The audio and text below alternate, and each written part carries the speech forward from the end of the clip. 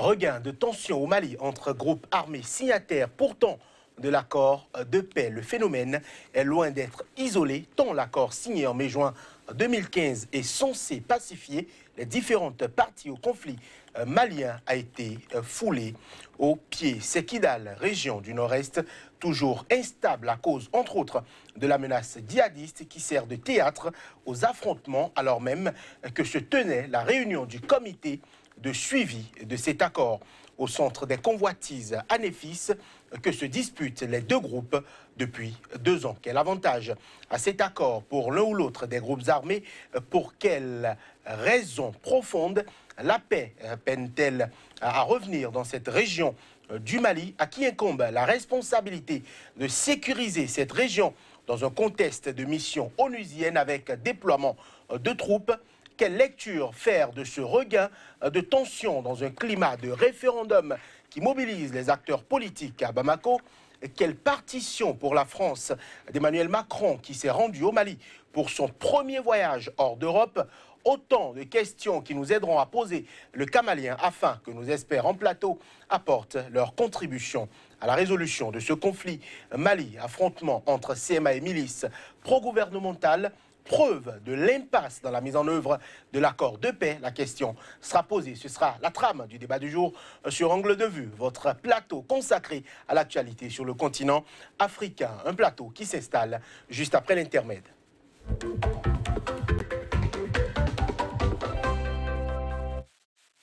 Et sur ce plateau aujourd'hui pour en, parler, Aimé Tiefa, bonjour. Bonjour. Vous êtes sociologue, expert en stratégie euh, de développement. Face à vous, Patrick Armand-Pouillon, bonjour. Bonjour. Vous êtes coach en politique de développement et gestion de crise. Ma question euh, sera pour vous, euh, coach Pouillon, des affrontements. C'était produit déjà le 6 juillet dans la même région et c'est le cas à nouveau. À quoi cela est dû selon vous? Au fait, il faut dire que la situation sociopolitique du Mali aujourd'hui prête à ce genre de situation. Parce que lorsqu'on dit accord, il faut que nous ayons deux forces assez organisées, assez structurées pour s'affronter.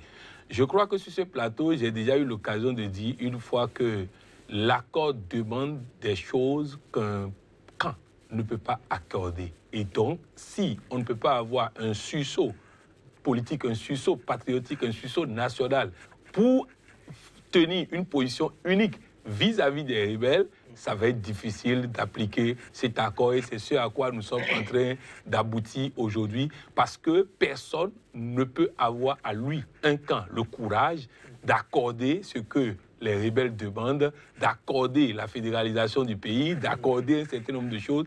Donc, le président Ibeka n'a pas voulu mettre son mandat dans un sursaut rassembleur. Il a voulu gouverner par son camp et nous avons abouti à un mandat qui est en train de finir dans une situation où pratiquement aucun pas en avant n'a été fait dans le cadre de la résolution de cette crise. Alors, euh, mais Tchefa, les combats se sont déroulés à Anfis. Est-ce qu'il y a une explication stratégique à cette ville-là? Merci. Permettez-moi de revenir rapidement sur euh, l'historique de cet accord. Je n'irai pas trop loin parce qu'on n'en a pas suffisamment tout le temps. Je vous rappelle la guerre de Mali qui a commencé de janvier à avril 2012, d'abord euh, par, euh, disons, une sorte de coalition entre quatre grands mouvements djihadistes et salafistes, à savoir le mouvement national pour la libération de l'Azawad, ACMI, mm. Al-Mourabitoun et puis Mujao.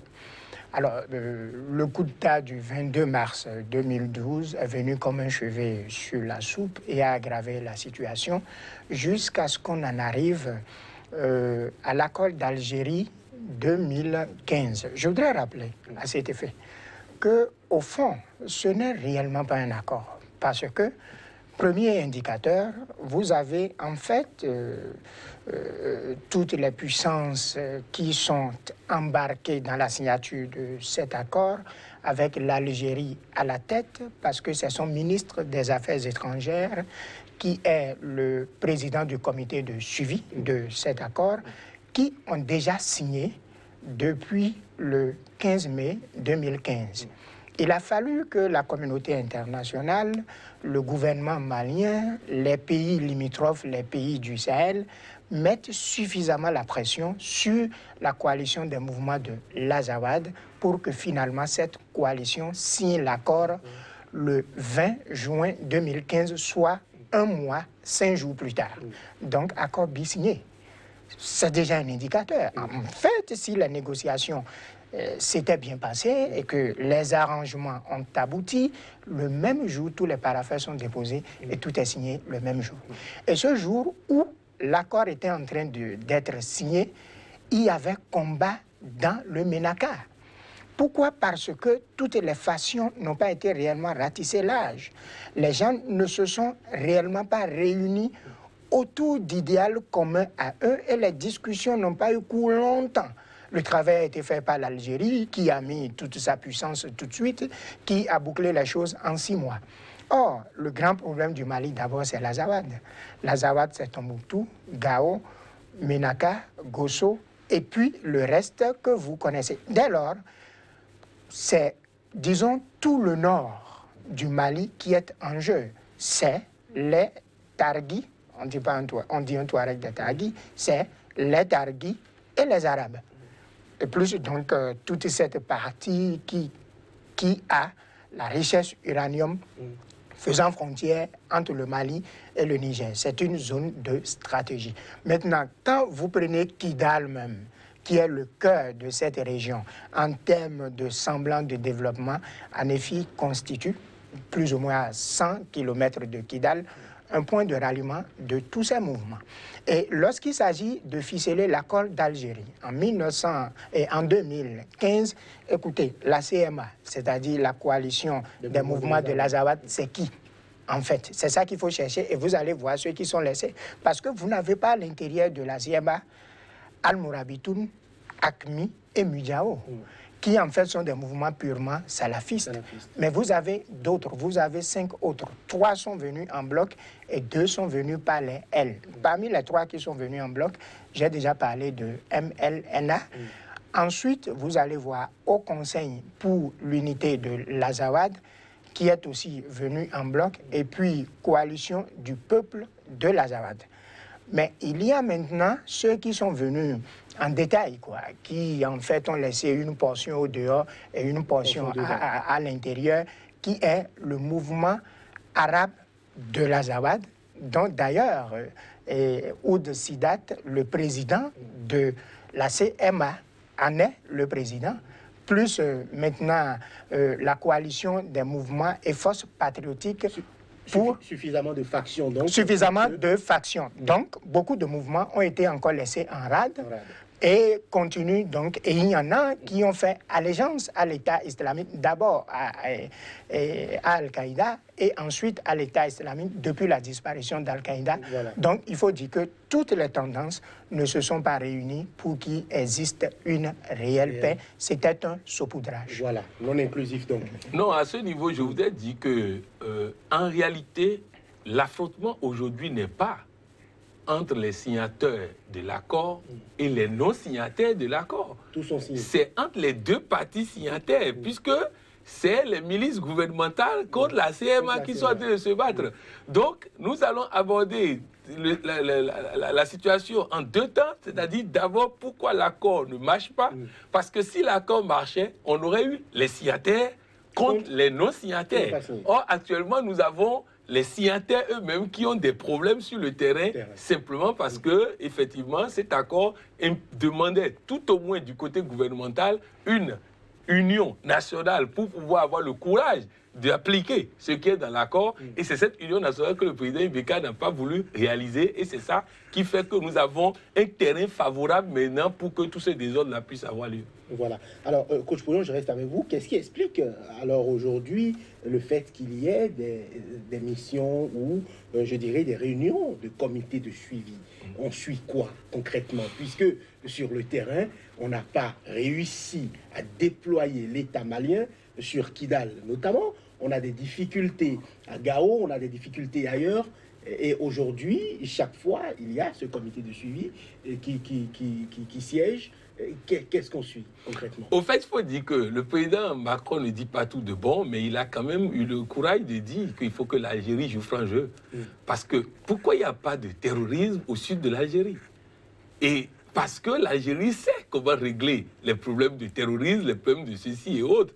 Maintenant, si l'Algérie, qui est si, président du comité de suivi, ne met pas de force en jeu, n'intervient pas, reste comme chose là, je crois qu'il y a une situation effectivement là qui, je crois que le président du comité de suivi doit s'impliquer davantage. Je crois que c'est ça qui doit permettre. Mais si c'est réunion seulement pour demander, toi tu as fait quoi, toi tu n'as pas fait quoi? Mais je le dis, moi, en tant que coach, mais sur le plan diplomatique, ça a son sens. Mm. Parce que sur le plan diplomatique, on dit il vaut mieux des discussions inutiles que pas de discussions. Mm. Donc, c'est dans ce sens que ces discussions sont en train d'avoir lieu. Parce que s'il n'y a plus de discussions, c'est la porte ouverte à l'affrontement généralisé. Mm. Donc, il faut quand même ce genre de réunion. Mais je crois que la solution, elle est algérienne. Et quand l'Algérie va décider véritablement de mettre la paix au nord du Mali, il y aura la paix au nord du Mali. Non, je, bon, je ne partage pas exactement le, point de vue du coach. Euh, je, voudrais vous signifier ceci.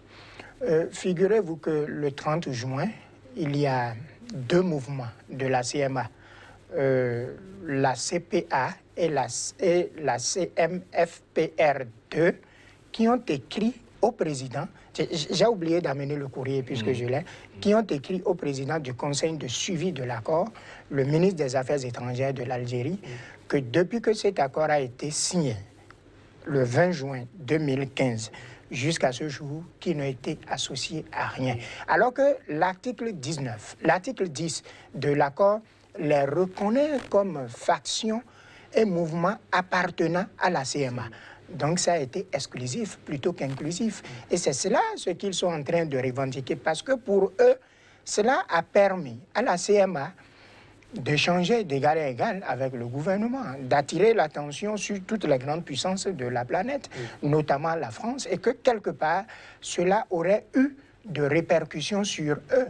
Mais eux, ils ne peuvent pas... Que demandent-ils concrètement? Oui, mais ils demandent à être associés. Il demande à prendre part aux réunions avec partage du gâteau avec le gouvernement, avec toutes les autres institutions, l'Union européenne et puis euh, l'Organisation des Nations Unies, parce que euh, vous n'êtes pas sans savoir que parmi tous les mouvements qui parlent, euh, parmi tous les mouvements qui parlent du nord du Mali, notamment de l'Azawad, on a eu une bonne vingtaine, il n'y a que MNNDA qui est un mouvement, en fait, qui prône une philosophie sécessionniste juste, sans une couverture religieuse.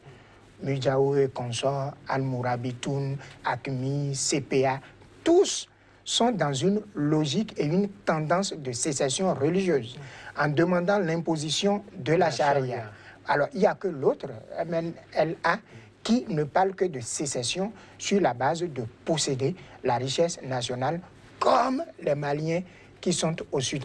Déjà, il y a disparité entre les logiques et les vues. Alors, quand on les met ensemble, il faudrait trouver suffisamment de raisons pour les mettre ensemble. Et quelles raisons on peut trouver si ce n'est pas la, la foi en leur Mali, puisque derrière c'est contenu dans leur devise, un peuple, un but et une foi?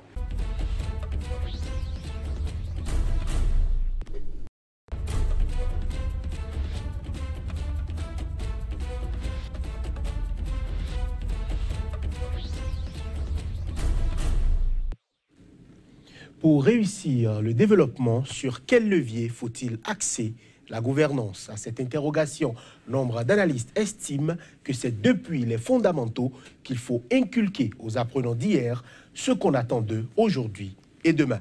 Cela revient donc à concevoir un système éducatif propre à chaque peuple dans sa dimension aussi bien historique que socioculturelle. Pourtant, les dirigeants africains peinent à asseoir des politiques claires, des programmes éducatifs bien conçus et axés sur les leviers précités. Quelle place occupe aujourd'hui l'éducation en Afrique. Quel type d'éducation est approprié au continent? Quel rôle joue la culture dans nos systèmes éducatifs? Les pays africains en général et en particulier ceux au sud du Sahara ont-ils saisi cette option? Doit-on réviser les programmes éducatifs actuels? Si oui, que, faut-il y mettre? Euh, afin que l'éducation soit le terreau du développement Angle de vue du jour essaiera avec deux personnes assez impliquées dans la chaîne de la formation de faire bouger euh, les lignes. Mesdames, Messieurs, merci de nous renouveler votre euh, confiance. Afrique, gouvernance, quel système éducatif pour un réel développement du continent? C'est le thème retenu pour le débat du jour qui s'installe juste après l'intermède.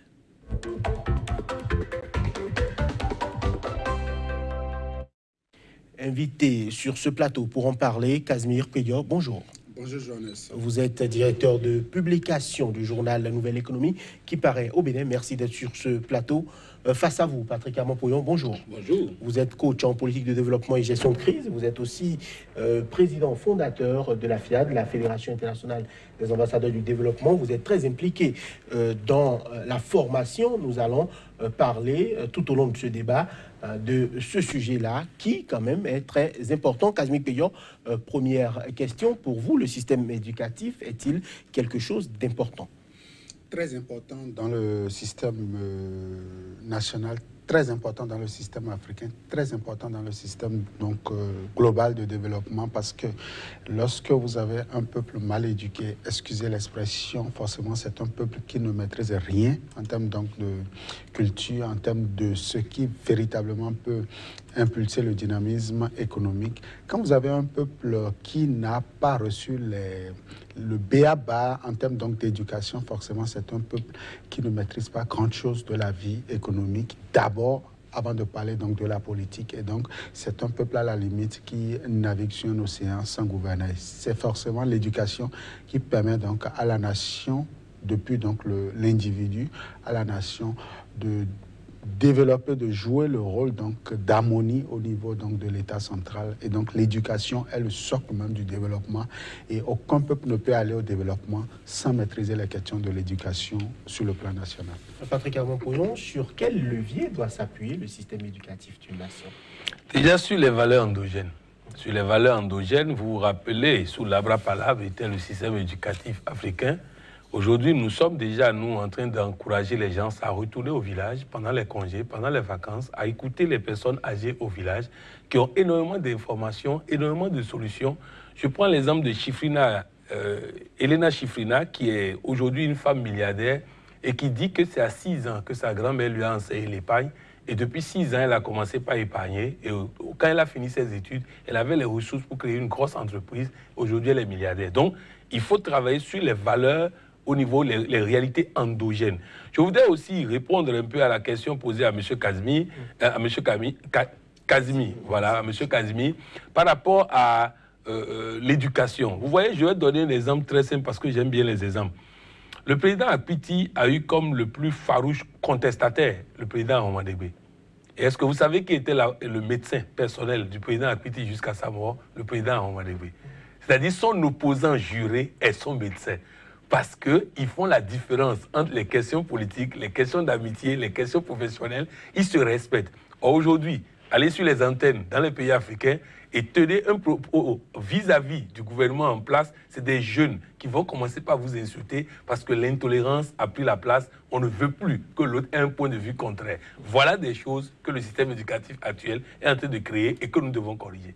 Casimir au vu de ce diagnostic, est-ce qu'on peut dire que les systèmes éducatifs du continent sont adaptés aux réalités et aux attentes de nos peuples? Merci, euh, Johannes. Et vous avez touché le fond donc, du sous-développement euh, sur le continent. Vous savez, euh, il y a ce qu'on appelle aujourd'hui le système éducatif, ce que nous avons hérité du colon, qui n'est pas adapté à nos réalités. Parce que quand on parle de l'éducation, il ne faut pas tout faire de voir donc, le système classique, c'est-à-dire de la maternelle jusqu'à l'université. Et voilà, on dit le produit, il est bon. Non, le produit n'est pas bon. L'éducation, c'est tout un ensemble. Depuis la naissance, comme il a dit, c'est d'abord nos valeurs endogènes. Vous savez, dans notre tradition, par exemple, comme euh, le coach Poyon, je vais aussi prendre un exemple. Dans notre tradition, par exemple, il y a ce qu'on appelle le respect donc, de l'aîné, le respect du grand. Et ça s'enseigne euh, dans la tradition. Un enfant n'a pas le droit de lever le ton, par exemple, sur, sur son aîné, de se croire sur son père, à, à plus forte raison sur son grand-père. Et donc, euh, je ne vois pas cette éducation-là transposé sur la place publique et euh, un aîné donne son point de vue sur un sujet et un petit vient à la télé commencer par l'insulter, lui manquer de respect, c'est pas évident. Même s'il doit le dire, il y a la manière, il y a la méthode de le faire. Aujourd'hui, on a quand même l'impression que c'est la dérive parce qu'on nous a amené un système qui n'est pas forcément euh, le nôtre. Le système a été copié avec des erreurs, transposé dans une réalité qui est autre. Ça a donné carrément autre chose dans lequel les Blancs eux-mêmes ne se retrouvent pas dans notre système éducatif. Et c'est la dérive. Vous savez, vous ne pouvez pas développer un pays en allant copier quelque chose qui n'est pas adapté à vos réalités. On ne parle pas chez nous, euh, une femme ne doit pas faire ci, euh, un homme euh, moins âgé ne doit pas faire ça. C'est des systèmes d'éducation que nous avons hérités. On doit normalement assez notre système éducatif suit ça. Et ce qu'on observe aujourd'hui, c'est l'école où on apprend à l'enfant l'égalité des sexes. L'égalité des sexes est respectée dans notre tradition. On sait le rôle de la femme dans la société. L'égalité des sexes ne veut pas dire forcément qu'on prend la parole à égalité. L'égalité aussi au niveau donc, de la prise de parole, telle que l'école nous enseigne, ce n'est pas ce qu'on remarque aujourd'hui dans la vie active où on passe tout son temps à injurier, à diffamer. Oui, on passe tout son temps aujourd'hui en Afrique à injurier. Alors qu'on pouvait apporter des critiques, on pouvait apporter un plus au débat public, mais non, vous voyez des jeunes qui se mettent à injurier à longueur de journée, pensant qu'ils sont en train de faire, donc de jouer leur rôle. Ce n'est pas du tout ça. Et donc je crois que le système auquel on est moulé, on forme l'Africain n'est pas le système qui doit nous amener au développement. Et ça pose un problème que je crois il va falloir trouver le mécanisme. Je ne sais pas si c'est les gardiens de la tradition qui vont retrouver donc les, les, anciens systèmes et ramener cela au sein de la jeunesse afin que nous puissions avoir une jeunesse bien éduquée qui puisse désormais aller vers l'éducation et le développement. Patrick Avapouillon, on a quand même l'impression qu'il y a certains pays africains qui ont quand même euh, qui, ont à cœur d'insérer cela. On peut par exemple parler du Nigeria ou de l'Afrique du Sud, des pays qui se sont appuyés sur leur propre culture pour aller au développement ou pour parler de la vie publique, de la vie politique. Est-ce qu'il euh, y a aussi les pays maghrébins qui, relativement, n'hésitent pas à utiliser euh, leur propre euh, culture pour, pour aller au développement Est-ce que on ne doit pas essayer plutôt de copier ces modèles-là plutôt que d'autres? Je prends l'exemple même du Bénin, où des initiatives privées ont commencé par émerger à Porte-Nouveau, à Savet et autres, pour enseigner les enfants à partir du Yoruba. Et vous voyez tout de suite, il y a un marché. Il est formé, le Nigeria est là pour consommer en même temps le produit. Donc, ils ont une formation, ils ont en même temps un marché pour intégrer les enfants. Vous voyez, donc, c'est pour dire que l'expérience même existe dans, plusieurs pays, mais ce n'est pas une expérience étatique. Donc, il faut que l'État puisse trouver ces expériences et amplifier. Parce que c'est très important. Je vous donne un exemple. Dans les années 2000 au Bénin, j'ai initié euh, euh, euh, une école à Porto-Novo qui faisait l'enseignement du développement du 6e à l'université. La première particularité, c'était enseignement gratuit. Les élèves ne paient pas de scolarité. Nous apprenons aux, enfants à faire du business et ils se chargeaient de commercialiser des produits et les recettes permettaient de faire leur formation. Deux, nous avons mis en place un système qui fait que les élèves dits tarés, qu'on a renvoyés du système éducatif, nous les ramenons, nous les formons, nous les présentons aux examens. J'ai pris Joy Igor, elle était en classe de 5e, on l'a envoyé pour insuffisance de résultats avec 5 de moyenne et on l'a pris. Mais chez moi, la sixième et la cinquième étaient ensemble, la quatrième et la troisième étaient ensemble, vu que c'est des élèves en retard qu'il faut remettre dans le système éducatif. Donc, je les fais passer. En quatrième, confondu avec la troisième, je lui ai dit, tu as un mois pour me prouver que tu peux tenir. On a fait les accompagnements nécessaires. À la fin de l'année, elle a eu le BVC. J'ai fait un débat avec la directrice départementale de l'époque, Mme Fatoke sur Radio Weke, et elle voulait démontrer en ça une irresponsabilité, ne sachant pas que l'enfant a eu le BPC. Et je lui ai prouvé, avec relevé à l'appui, que leur système, il y a un an, disait que cet enfant est taré en cinquième. Leur système, un an après, dit que cet enfant mérite le BPC. C'est pour dire que les expériences existent dans nos pays. Mais il va falloir que le gouvernement, au lieu de combattre comme il l'a fait quand je l'avais fait au Bénin, il puisse amplifier ces initiatives pour permettre le développement. on sait quand même que les enseignants qui sont quand même chargés, par exemple, de mettre en œuvre ces programmes-là, ils mettent parfois des réserves. Est-ce qu'ils sont écoutés au niveau euh, de la chaîne qui dirige? Au, Bénin ou euh, partout ailleurs en Afrique francophone, puisque souvent c'est au sud du Sahara que le problème euh, semble être euh, très ancré. Et je, je, trouve déjà fondé déjà votre analyse, enfin votre introduction tout à l'heure, lorsque vous avez séquencé le sujet dans l'espace, c'est-à-dire la zone, le sud du Sahara, mm. parce que nous n'avons pas les mêmes réalités au niveau donc de des pays maghrébins. Parce que eux, ils sont allés carrément puiser. D'ailleurs, quand on parle de l'Égypte, vous comprenez que c'est toute une, c'est plusieurs générations d'histoire. La langue c'est l'arabe. Et, donc euh, là, là, on a maintenu le cap. Pour la plupart du temps, c'est beaucoup plus les pays francophones, les pays anglophones. Enfin, beaucoup plus francophones où on est allé copier un système forcément qui est peut-être rejeté là-bas et puis parce qu'il y a l'argent, on a amené. Alors, lorsque vous voyez un enseignant aujourd'hui, il, faut nuancer, hein, il, faut, il faut nuancer. Nos États, c'est beaucoup plus l'enseignant lui-même a déjà des problèmes, il a des retards déjà mm. en termes donc de sa formation, de son éducation, il a déjà euh, un manque à gagner. Alors celui-là, pour encore former, vous voyez, ça pose déjà un problème. Ça pose un problème social. Pour la plupart du temps, vous voyez ces, ces enseignants, euh, c'est beaucoup plus des instructeurs. C'est pas des personnes à vocation éducation. Ce pas des gens forcément moulés dans un système qui ont été bien éduqués. Ce pas des gens qui savent respecter déjà la communauté dans laquelle euh, euh, ils sont. C'est des gens qui ont des choses à se reprocher. C'est des gens, par exemple, qui ne savent pas ce qu'il faut faire dans la société. Le bien public, est-ce qu'il est respecté? Est-ce qu'à la maison, on apprend à respecter le, les, les parents? Est-ce qu'on a du respect pour son ego? Celui-là maintenant va former. Vous voyez déjà la moule qui veut fabriquer, donc l'enfant déjà, euh, a déjà des déformations. Ne me demandez pas que la brique aura une bonne forme. Et donc, c'est déjà ça. Il faut arriver aujourd'hui à inculquer, du moins, à reprendre l'éducation, la formation déjà des formateurs, de certains formateurs. Excusez du peu, parce que on a quand même encore des valeurs au niveau de nos campus. Mais au niveau inférieur, ça pose déjà un problème. Et vous voyez aujourd'hui dans notre système éducatif, il y a des enseignants qui ont même des difficultés à s'exprimer. Il y a des enseignants qui ont déjà des difficultés à s'exprimer. Au même moment, je dis dans nos valeurs endogènes, il y a des valeurs. Hein. Enfin, dans notre culture, il y a des valeurs qu'on peut sauvegarder. Il a dit, le coach, le Yoruba est enseigné à l'université au Nigeria. Le Wolof, ça se parle à l'université à Dakar.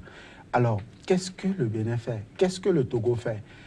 Forcément, il va falloir que nos dirigeants comprennent que le français, trop parler le français, parfois, ça abrutit, ça, ça, retarde notre système éducatif. Et donc, il faut aller. Vous pouvez démarrer un, débat au Sénégal, vous démarrez un débat en français, et subitement, ça vire au Wolof. Et vous voyez, ça se parle.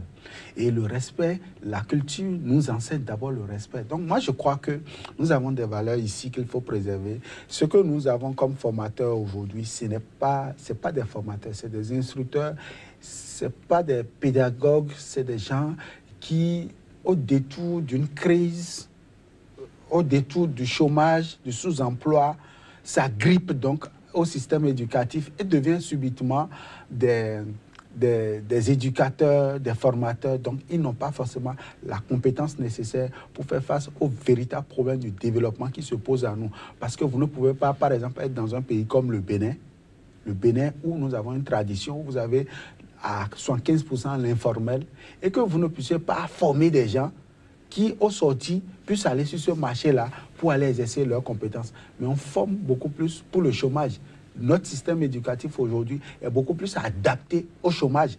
Quand les gens sortent de nos universités, le premier emploi ici, c'est le chômage. On revient à la maison et on sait d'abord les parents. Les parents sont obligés de continuer ce qu'ils faisaient. Donc voilà un peu ce que nous avons hérité du colon. Du colon. Il va falloir retrouver le système éducatif qui est adapté à nos réalités.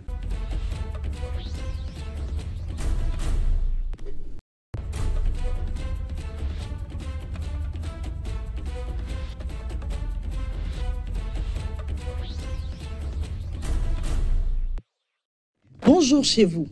Ce numéro de votre émission Angle de vue vous emmènera en Guinée-Conakry à travers crise politique et sociale, mais aussi en Côte d'Ivoire où il sera question de s'intéresser à la restructuration pour diminuer ses effectifs pléthoriques dans l'armée. Victime du régime de Sékou Touré en 1970 et condamné à mort par contumace, l'ardent opposant et africain engagé fut contraint de s'exiler longtemps et ne revint au Bercail qu'en 1991. Son calvaire n'est pas terminé car très vite il sera pris en charge par Lansana Conté qui l'emprisonne durant des mois. L'homme s'en sortira grandi par son élection à la tête de la Guinée en 2010. Et l'homme, justement, depuis un moment, n'est plus en odeur de sainteté avec son peuple. Ceci se traduit par des crises politiques et sociales qui s'enchaînent. Le 4 février, pour tenir des élections locales en Guinée, Alpha Condé a-t-il ainsi résolu tous les problèmes? L'opposition a-t-elle raison de craindre un troisième mandat du chef? Et donc, euh, en deuxième partie de cette émission, nous parlerons restructuration pour diminuer les effectifs pléthoriques de l'armée en Côte d'Ivoire. Il sera ici question d'analyser l'opportunité de cette opération à deux ans euh, de la présidentielle. Quelles pourraient être les conséquences d'un tel acte sur la quiétude du pays? Euh, Tout ceci sera développé au cours de cette émission de 45 minutes, mais juste après ceci.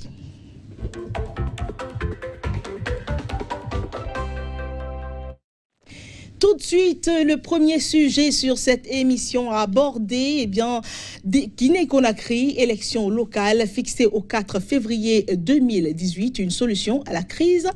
Pour en parler, deux invités sur ce plateau, Bertrand Mengletor, journaliste et directeur de la télévision Carrefour. Bonjour. Bonjour Claire Stéphane. Deuxième invité sur ce plateau, Joseph Arri, journaliste, directeur de publication du journal Humanité. Bienvenue. Merci vraiment à vous euh, de répondre à notre euh, invitation. Alors, on plantait le décor tantôt. Élection locale en Guinée-Conakry fixée au 4 février 2018. C'est quoi votre appréciation, Bertrand euh, Megleton Bon, je pense que c'est la promesse de l'aboutissement d'une situation qui, qui, perdure depuis, depuis sept ans, parce que les élections municipales devraient avoir lieu euh, depuis 2010. Euh, ça n'a pas eu lieu parce que, pour des, tas de raisons, euh, le pouvoir avait souvent évoqué des, raisons budgétaires, mais il se fait que les tests de la Guinée prévoient que le mandat des, élus locaux devrait être renouvelé tous les cinq ans. on va espérer que euh, les prochaines élections, enfin, le, corps électoral qui a été convoqué pour le 4, février. prochain euh, puisse euh, effectivement aller voter. Mais je pense que c'est une situation qui permettra quand même à la Guinée de retrouver un peu de calme dans tout ce contexte un peu sociopolitique, un peu agité. je pense que ça va permettre un peu de calmer les ardeurs, euh, les colères et tout. Alors, euh, Joseph Arigny, euh, journaliste, directeur de publication du journal Humanité. Les élections locales en Guinée. L'humanité. L'humanité, voilà. merci de, pour, la, pour la correction. Les, les élections locales en Guinée-Conakry devraient se tenir depuis février dernier. Cela a accusé du retard. Nous avons vu l'opposition marcher pour réclamer ces élections-là. Eh bien, on peut dire que on devrait avoir satisfaction maintenant, non? Oui, logiquement, si euh, on devait se tenir euh, à la promesse faite par le corps électoral, on devrait euh, se cantonner à cela et dire que les élections auront effectivement lieu. Mais reste à savoir si le chef de l'État, qui est la principale cause des remous sociaux en Guinée, si le chef de l'État va abonder dans ce même sens que le corps électoral, tout ce qu'on peut dire, c'est que nous devons prier pour que la Guinée-Conakry retrouve son calme. Parce que il y a beaucoup de choses à faire dans ce pays. Alors, nous allons euh, continuer donc, et donc attaquer la deuxième articulation de notre émission. Et pour ce faire, nous mettons le cap sur la Côte d'Ivoire. La Côte d'Ivoire qui pense à dégraisser l'armée parce qu'il y aurait trop de monde, l'effectif, les effectifs seraient pléthoriques au, sein de l'armée. Et euh, première opération, euh, un millier de militaires partent dans un plan de départ volontaire. Alors, Bertrand McBleton. Vous avez parlé de départ volontaire. Ça veut dire que le gouvernement a proposé à des militaires d'aller à la retraite anticipée et ils ont dit oui. Pour moi, ça ne pose pas de problème. Pour moi, il n'y a plus de débat.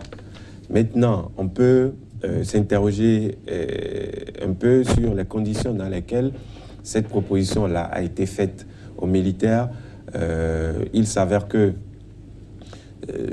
qu'il y a, enfin, le quota d'officiers par rapport aux hommes de, troupes, en tout cas dans l'armée ivoirienne, ce quota-là est un peu élevé et, et, que de ce point de vue, il faille faire quelque chose pour rétablir l'équilibre. Mais il faut, il faut voir un peu d'où vient la Côte d'Ivoire. Euh, sur 23 000 hommes, 13 euh, 000 venaient ou viennent de l'ex-rébellion de qui a soutenu euh, l'actuel président. Et donc, on, a dû les reverser dans l'armée. On a créé une pléthore au sein de, de l'armée. Et ça donne les résultats que ça donne aujourd'hui. Bon, maintenant, est-ce que il y aura des conséquences euh, Ça, on abordera les conséquences tout à l'heure. Euh, Joseph Farini, alors il faut dégraisser l'armée. Mais d'où est parti le surpeuplement de, cette armée-là? Qui a fait venir autant de monde dans, l'armée? Ben, Sans même réfléchir, on donnerait la réponse à cette question. Euh, c'est Alassane Draman Ouattara. Aujourd'hui, nous avons, nous avons des preuves que c'est Alassane Draman Ouattara qui a alimenté la rébellion c'est Alassane Darman Ouattara qui a remis, qui a choisi Guillaume Soro d'être le porte-parole de la conquête du pouvoir en Côte d'Ivoire. Alassane Draman Ouattara a été le premier ministre de Félix Houphouët-Boigny dans les années 93-94. Et Alassane était convaincu que s'il devait mener un combat démocratique, il n'aurait jamais le pouvoir en sa possession en Côte d'Ivoire. Et donc, qu'est-ce qu'il faut faire? Faudrait-il utiliser l'armée en place, qui était déjà favorable à Henri Konabédier et à Babo Laurent, ou alimenter nos rébellions? Le choix était tout juste fait. Et à côté, il y avait le Burkina Faso, qui avait déjà des relations, je dirais, filiales avec Alassane Draman Ouattara. Guillaume Soro a été vu.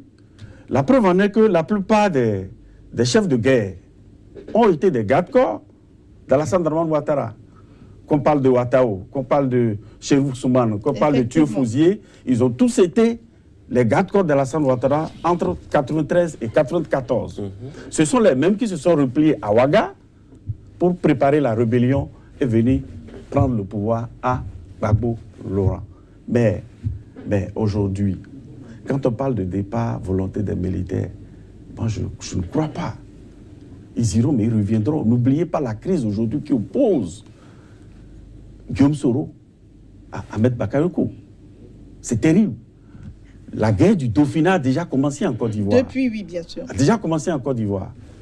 Alassane a peur de cette situation. La preuve en est que il ne veut pas être clair sur son départ du pouvoir. Justement, et d'ailleurs, il y a quelques, quelques jours encore, ça ah a créé des, problèmes avec son Il y a le plan des classiques d'Alassane Draman Ouattara, qui, euh, qui est composé de, de l'actuel Premier ministre, euh, Gonkoulibali, est l'un des premiers acteurs.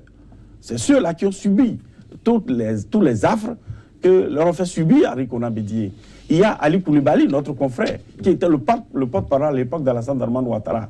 Donc la solution aujourd'hui, c'est de tout faire pour que tous les militaires proches à Guillaume Soro, soient sortis des rangs de l'armée pour qu'on ait confiance. Parce qu'Alassane est conscient qu'aujourd'hui, il ne maîtrise pas l'armée.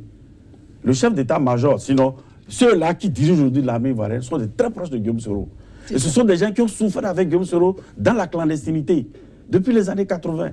Mais que, que, que ce millier de militaires-là ait accepté tranquillement partir, est-ce que cela n'amène pas à se, questionner également? Bon, on a dû leur faire des propositions. Ils ont dû obtenir euh, euh, des gages pour pouvoir accepter de partir.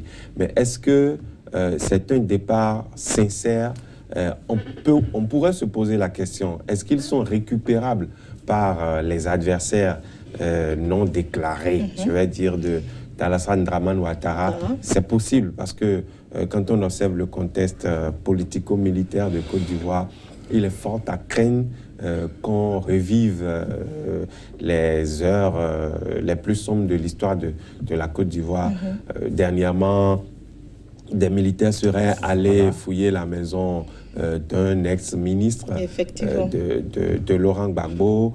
Euh, nous avons appris que, Laurent, enfin, que le camp Gbagbo serait en train de se rapprocher du camp Soro. Soro, qui aurait présenté des excuses aux Ivoiriens. À quel type d'Ivoiriens Enfin, on ne le sait pas encore. Mais il est possible que la poudrière ivoirienne explose. on ne le souhaite pas, mais il est possible que cette poudrière-là explose il y a les démobilisés euh, qui réclament des avantages, qui n'ont pas encore, en tout cas une partie en a mhm, obtenu et l'autre n'a pas obtenu. Avec les mutineries qu'on a eues euh, cette année, cette année, l'année dernière, ça en dit beaucoup, ça en dit beaucoup, au point où on se demande euh, quel corollaire de ce, qu'est-ce que je, vais, comment je vais l'appeler, de ce départ volontaire là Est-ce que c'est pas une bombe? Parce que à quoi s'attendre? On, pourrait vraiment se, se, faire des idées. il a dit clairement, il a sorti un mot qui me plaît beaucoup. La Côte d'Ivoire, c'est une poudrière dans quelques, dans quelques mois, dans quelques années. Juste à, l'approche des élections, déjà, on constatera les faits. Parce que ceux-là qui sont en train de se... Les, les, élections, c'est déjà là. Hein, regardez, regardez les mutins, les, les, les, différents feuilletons que les mutins nous ont présentés. On réclame quelque chose, le chef de l'État, Alassane Darwan, donne, et puis le lendemain dit non, c'est peu. Voilà, justement. de garnison en garnison, on a été, on a manipulé le chef de l'État un chef d'État qui a été humilié. Il était à l'étranger quand la première mutinerie est tombée. Il a eu très honte, il a, il a exprimé cela en direct à l'aéroport. Donc c'est pour vous dire que euh, cette décision-là euh, cache beaucoup de choses.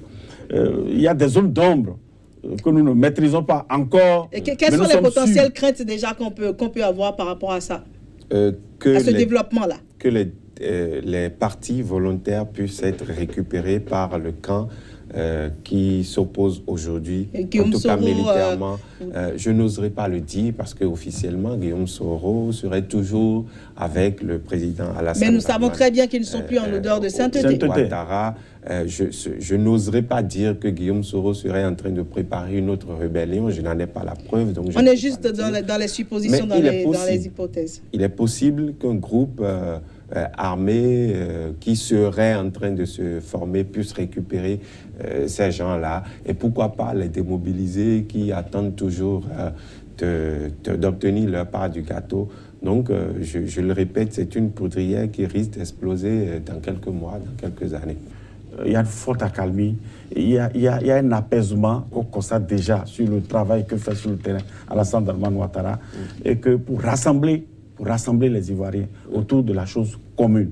Est-ce qu'on peut parler de rassemblement euh, tant que Gbagbo euh, n'est pas rentré, tant que Gbagbo est à la CPI Ça, c'est un problème qui, demeure. Parce que là, la réconciliation. Le problème Gbagbo est un problème particulier. Le problème Gbagbo est un problème particulier pour la Côte d'Ivoire. Ça n'impacte pas. Ça règle ça a déjà réglé le problème. Mhm. Le problème de la xénophobie, le problème de l'ivoirité, ça l'a déjà réglé. Maintenant, il faut unir les Ivoiriens autour d'un point commun. On ne peut pas unir les Ivoiriens quand il y a un. Est-ce que si Gbagbo vient, est-ce que si Gbagbo rentre au pays, est-ce que ces Ivoiriens vont se retrouver autour de la même table pour pouvoir discuter tenir le même langage? Donc vous trouvez que la meilleure façon, c'est de, de, le tenir à l'écart. Euh, Bertrand Megletor, c'est quoi votre, votre, avis sur le sujet? Pour moi, ce n'est pas, ce pas tant le problème Gbagbo que euh, la justice. Euh, qui pose problème en, Côte d'Ivoire. Parce que près de 7 ans, 8 ans après euh, la résolution de, de, la crise, en tout cas le dénouement de la crise, euh, on assiste toujours à la justice des vainqueurs. Et ça, ça frustre beaucoup en Côte d'Ivoire. on se comporte comme si il n'y avait que le camp, Gbagbo, qui a commis des, des, atrocités ou du, voilà, des, des, crimes en Côte d'Ivoire, alors que tout le monde sait que les rebelles, euh, depuis 2002, ont fait beaucoup de dégâts en Côte d'Ivoire et ils ne sont pas touchés jusqu'à présent. Oui, oui. Ça, c'est un problème Il y, a un aspect, qu'on oublie. Il y a un aspect qu'on oublie. Euh, les, les, faits qui ont conduit Babou à, à, la, euh, au tribunal à la haie sont tous les faits qui ont été commis après les élections, après la proclamation des résultats. Sinon, avant la proclamation, avant les élections, on a vu, on, sait. Justement, donc on, attend que justice soit faite également de ce côté-là. Après, on s'est dit, on calme et on va aux élections. Mais après les élections, Gbagbo a refusé les résultats. Il a continué de tuer. que la CPI... Donc c'est Gbagbo seul, qui a continué de tuer. C'est là que le problème se pose. que la CPI, jusqu'à l'heure où nous parlons, n'a pas réussi à prouver.